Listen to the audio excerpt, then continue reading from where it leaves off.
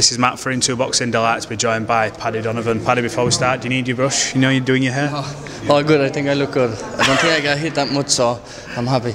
Uh, you spoke to me yesterday and you said that you want to put on a world class performance. Were you world class in there tonight? Shades of it? Yes, I believe so. Uh, I think that's a pitch perfect performance from me. I executed everything I wanted to do, everything I didn't get in the in training. Um, I displayed it tonight, so I have no complaints. I'm really happy with my performance. My coach is happy. When they're happy, I'm happy. We're all happy. He was tough in there tonight. You seemed to hit him with a barrage of punches. At some point, I thought he's gonna, he's not going to last, but he just kept coming and coming. Uh, a lot of respect for that opponent in there tonight. Yeah, very tough, very very durable opponent. Very um, tight defence.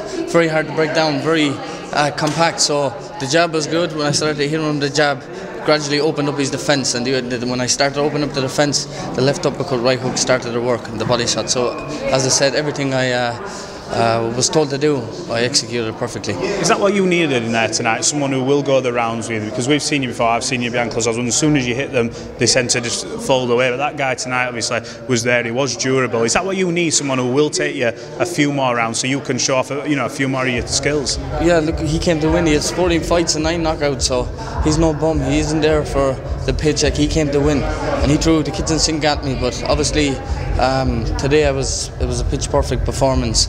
And um, them kind of fighters are very hard to break down. They're very compact, as I said. Survive, didn't it? So they're about one of the hardest fighters that you can uh, you can box. If he's tall, you can see the shots more. If he's a bit open, you can land a bit more shots. But these guys are very compact, and and it takes a while to get to them. And that's exactly what I did. Was keep working and doing what I was told, and got to him. What's Andy Lee said about your performance? Obviously, he's been there, seen there, and done it. Um, is he pleased with it? Yeah, Andy said that was one of the best performances he's ever seen in his whole entire career.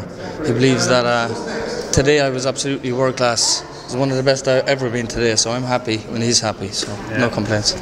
Um, looking at the last year, obviously we touched on it before. You've had you've had a horrendous previous 12 months with people that you've lost. Was that sort of nice to get back out to being back doing what you do, so you can fully focus on boxing and not take your mind off it, but put all your energy into you know doing what you do? Yeah, so I use that that kind of energy and that bad feelings, and I kind of turned it into motivation and uh, pushed through a tough period of my life. I kept it in the gym and kept that, uh, turned that anger into a positive feeling, and that's exactly what I did tonight. I showed my my my bad feelings, my anger, and I put it into a performance that just came rightly together, and I'm so happy with it. So. What are you looking for for the rest of the year? Are you just looking to stay active, stay in the gym, and get a few more fights, a few more learning fights before you shoot off and start fighting for titles? Well, they, they, they want me to come to New York, so we just got a message they want yeah. to come to New York. We got a few guys from Top Rank that's asking us to go to New York. So, um, yeah, it's upward, upwards and onwards now. You know what I mean? I know how far I can go. I know where I'm going to go. I know I'm signed with. I know what I have behind me, and it's up to me. If I keep training and keep disciplining, and keep active, um, I'm going to be very hard to beat. Is that, one, is that a big tick box for you to go fight in New York and fight in the American platforms to showcase yourself, not just to fans over here, but to build that American audience? Because obviously a big Irish contingency over in New York. I'm sure they'll get behind you. Yeah, it's big everywhere. Look, I've fought in England uh, a good few times in my career so far. I've fought in Scotland, my second fight in Scotland. So it's time to go the other side of the pond now and start to. Uh, uh, spread my name a little bit across the, the, country over there and get known and get and build my name, build my record, and that's where I want to make my status over in New York, Las Vegas. So that's my goal. And finally, last one from me. Have you got a message for all the fans, family who've come to support you? I know you had a good few people in here tonight giving you a lot of backing. Have you got a message for them?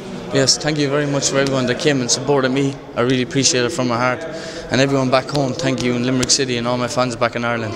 Thank you. I just want to say one thing.